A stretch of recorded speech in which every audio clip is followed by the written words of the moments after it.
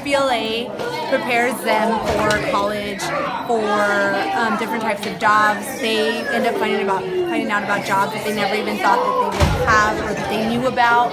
Um, I find that really interesting. You find things like um, all of a sudden a kid wants to be an anesthesiologist or wants to be a marine photographer, where they never thought of those things. All they thought was doctor, lawyer, veterinarian. I like FBLA because we get to work with computers and our friends and putting our minds together to make one thing together. All of this stuff, it's not just something I'm gonna do in middle school to keep like me occupied. It's something that I can work with down the line that will actually be crucial to my adulthood. Our goal here was to make a PowerPoint on how to be responsible on social media as the main topic, to create and maybe like state facts, make a chart, and kind of show you how to be responsible on social media.